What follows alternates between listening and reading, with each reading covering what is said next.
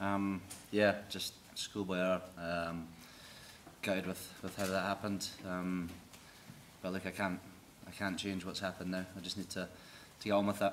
Um, you know, as I apologise to the boys, but look, as I say, um, what will be will be. We have to move on.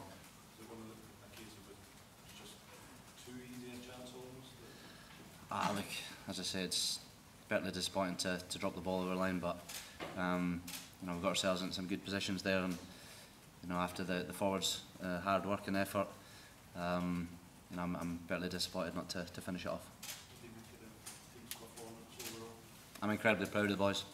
You know, we, we came across here with a, a huge a, a huge task on our hands, and we fronted up. Um, you know, our defence stood firm, something that we've worked incredibly hard on over the last couple of weeks.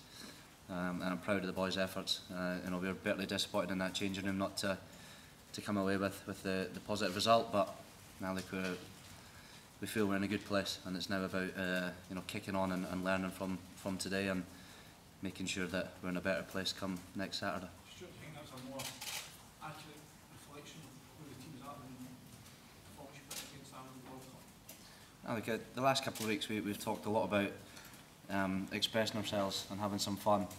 Uh, and we stuck to our detail in, in attack. We stood firm in defence. Um, and the boys played with a lot of confidence and ambition, which I loved. We didn't seem flustered at all. Um, and I felt we were in a very, very good place and, and ultimately should have won that game. Stuart, did you feel like playing against a very different Irish team? Did they do what you expected? Was it, was it a different challenge to We knew they were going to be physical uh, uh, and they proved that. But our forwards stood firm and, and really took it to them. Um, we talked a lot about our discipline and not giving you know, easy penalties or easy outs. Uh, and unfortunately, we gave away you know two or three soft penalties that rel relieved a lot of pressure for them and got them into some good good areas of the field. So that's something we'll address on, on Monday and Tuesday. And as I say, make sure we're not making you know those those silly errors again. Um, because ultimately we, we were in a position to win a test match there and little things just didn't quite go our way.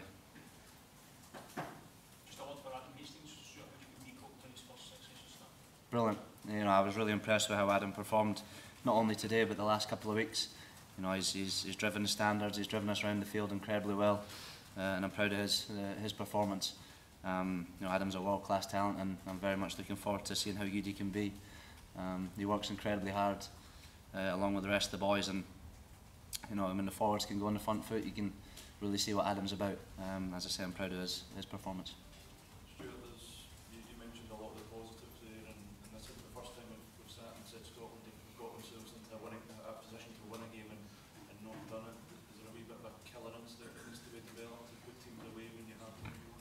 Yeah, exactly. As I said earlier, we, we talk a lot about our conversion rate in attack and making sure that when we get into the 22, we're coming away with points. Uh, and unfortunately, we came came up short there. Um, we got ourselves into some good situations, uh, and we should have finished them off. But again, you've got to to give credit to Ireland's defence the last few phases uh, of the game. They, they stood firm, um, and they made it a nightmare for us at the breakdown. So again, that's something we'll look at uh, and make sure that we're in a better position come next Saturday.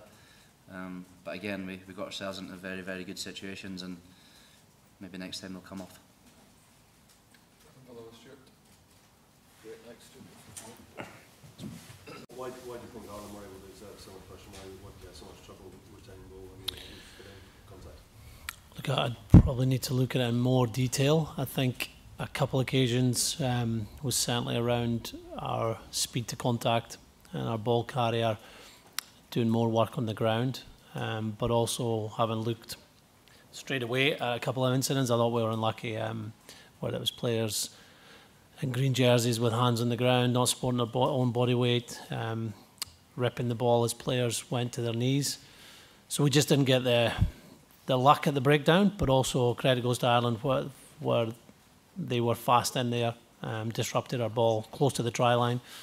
Um, really frustrating with the, the one at the end of the game because uh, I was watching phase after phase and it didn't look like um, many of the players were behind the, the try line when that was offside line. But we have to be better. We have to um, be better than, than the decisions we were maybe not getting on the field, and we've got to take those opportunities.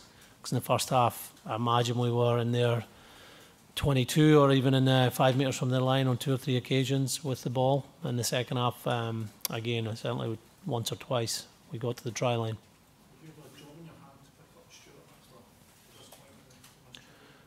No, I think I think he um, he's played rugby for a long time. You you make mistakes, and to me, mistakes you, you shouldn't be ranking them. That someone drops a ball over the try line or drop the ball in their own twenty-two. It's it's an error that you flush and move on. Uh, he he was outstanding on the field today. I thought his energy, his decision making, his kicking uh, was excellent, uh, and he's led the team really well the last two weeks. And we'll we'll work to get better as a as a coaching group and a and a playing group. Um, and Stuart will, will bounce back very quickly from that.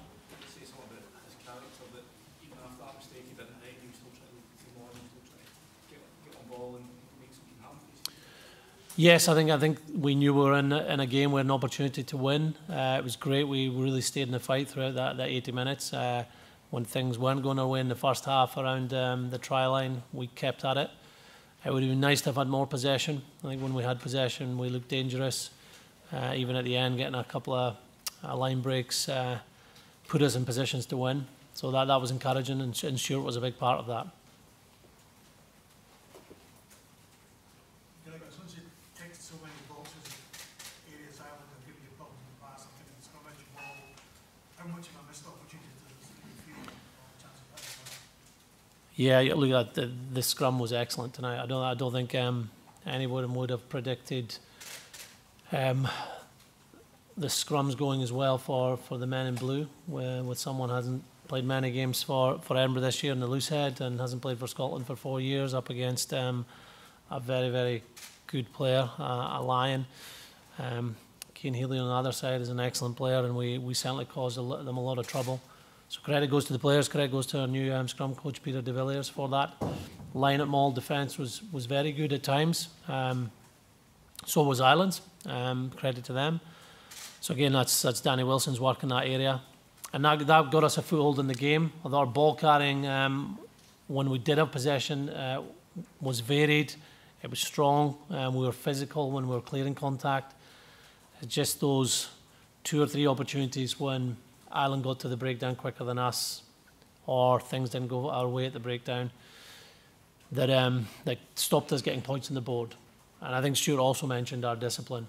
So we can't afford to give away soft penalties, whether it's run across someone's line when they're, they're chasing kicks um, or not getting out the breakdown quick enough in a scrum half passing to you as you're trying to get out um, because they take the pressure off the opposition and uh, also when, uh, when they're kicking to touch, puts more pressure on you back in your 22. And 15 penalties is too many, probably, or certainly to, to win a test match and win a test match in a venue that Ireland have only lost once in the last five years. Gregor, the first five minutes were played almost exclusively in Ireland's territory. How important was it to make that quick start from there? Do you see enough positives over the piece of the match? Yeah, five minutes isn't that long over over 80, but I was really pleased with the first five minutes. Uh, the variation in our attack, uh, the speed of ball we were generating. I thought the halfbacks controlled um, the game really well. Uh, we got forwards carrying ball, um, forwards that were new to Test rugby like Nick Haining, or certainly um, not played much in the last few years, and Rory Sutherland and were getting on ball. And, and it got its reward, it got three points. Uh, I think after that, we didn't build enough phases, whether it was a line out that was stopped um, or a couple of line outs that we didn't win the ball. Or I think after Sam Johnson's line break off the line out play at the end of the first half, we got the ball stripped on the floor just after that. So building phases, creating penalties, narrowing defences, and then scoring tries. That's what you've got to do when you're when the players are playing so well when they have the ball. Gregor, were there any noticeable differences from coming up against Joe Schmidt coach team, do you think? Oh, it's, it's difficult to say. I think Ireland know their strengths. Um, that that that team um, hasn't hasn't changed too much over the last few years. Uh, you've got the halfbacks that um, will play forwards close to them. So whether it's Johnny putting forwards back and inside balls, or Conor um, playing forwards um, off him, uh, they've got very good body height when they carry ball, uh, and that's always been something throughout the last few years of Irish rugby. Uh, they probably didn't get enough first phase possessions or strike plays, which might, we might have seen in the past with with Irish teams, but they, they were physical. Uh, it was a proper test match, and they, they're a quality side uh, that managed to get the win.